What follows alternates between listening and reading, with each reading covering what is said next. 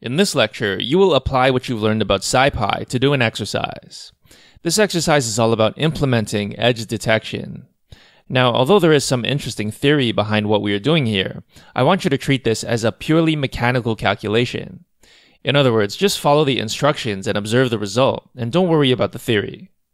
So first, I'm going to define two filters, HX and HY. These are called the Sobel filters. They're both 3 by 3 matrices. Next, you're going to do convolution using both of these filters on a grayscale image. Let's call the output GX and GY. Finally, we're going to combine GX and GY by squaring them, adding them together, and then taking the square root. Note that these operations should be performed element-wise. Good luck, and I'll see you in the next lecture.